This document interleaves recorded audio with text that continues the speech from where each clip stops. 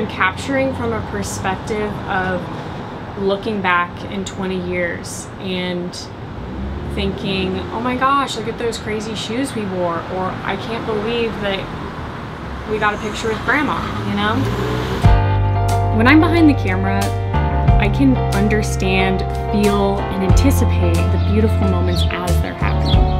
Every story I've captured has been different and that's what's important to me is getting to know my clients, learning about their history, their likes, their dislikes, so I can tell their story in their own style. Whenever my clients need something, I'm always there to move their flyaways, give them a glass of champagne,